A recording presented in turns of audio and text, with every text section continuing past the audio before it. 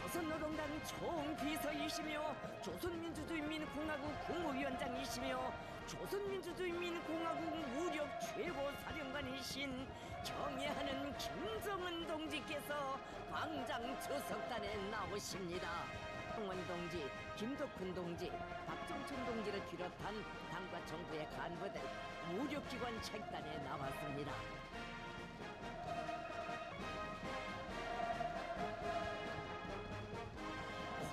얼마나 기다려온 양간 속에서도 강국의 완벽하게 실현되고 전민 무정 국가 방위와 인민 보유에 힘 있는 역량인 우리의 오늘의 참여한 비상방역 대전에서 가장 책임적이고 무거운 자기의 본분과 사명을 다하며 당 중앙의 구상과 의도를 결사관철해 나갈 의지가 비상방역 종대 대원들의 가슴마다에 맥박치고 있습니다.